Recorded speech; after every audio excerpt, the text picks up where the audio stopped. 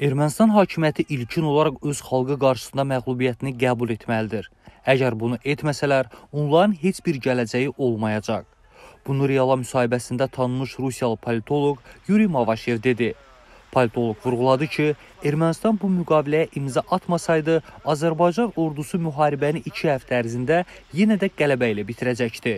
Азербайджан проявил себя как э, страна, которая э, берет на себя обязательства, как ответственный игрок. Azərbaycan özünü məsuliyyətli və üzərinə öhdəlik götürə bilən ölkə kimi təqdim etdi. Azərbaycan üçün ordunun potensialı baxımından bu münaqişəni birdəfəlik həll etməkdə heç bir problem yox idi. Hərbi münaqişə davam etsəydi, fikrimcə döyüş 2 həftəyə qalibiyyətlə bitəcəkdi. Bu mümkün idi. Amma mən çox şadam ki, Azərbaycan və onun rəhbərliyi bizim də Rusiyada gözlədiyimiz müdrikliyi nümayiş etdirdi.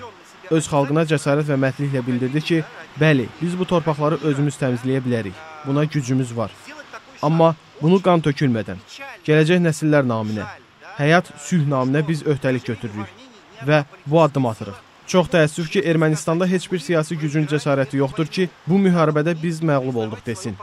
Məğlub olduğunu etiraf etmək lazımdır.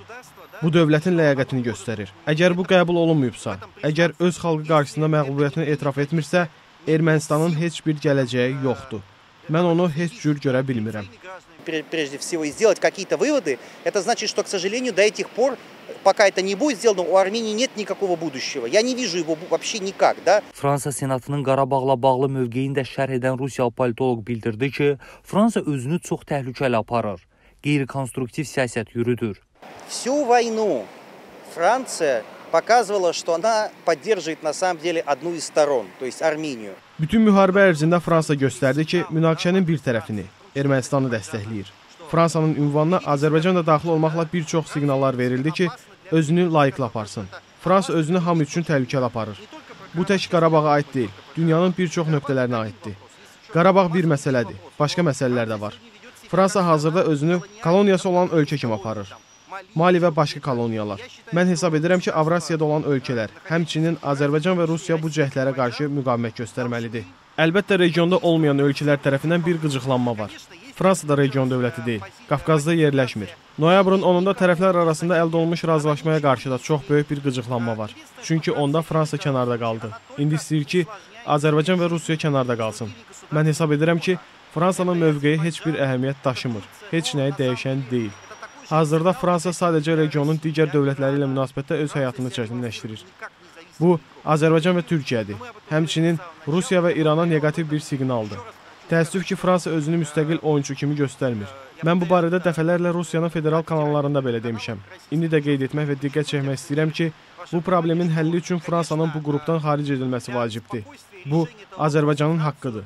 Azərbaycan müstəqil ölkə olaraq Minsk qrupunun üzvlərini və həmsədrlərinin tərkibini müəyyənləşdirə və tələb edə bilər. Что только Азербайджан может определять э, состав э, участников Минской группы, состав сопредседателей, потому что Азербайджан это суверенная страна в первую очередь. Politoloq deyir ki, Fransa bu hərəkətlə tək Azərbaycan və Türkiyə ilə deyil, bütün İslam dünyası ilə münasibətlərini korlayır.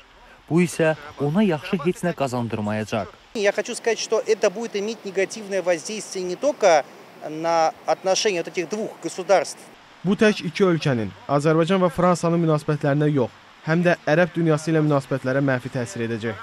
Bu Fransa üçün Qarabağdan daha əhəmiyyətlidir.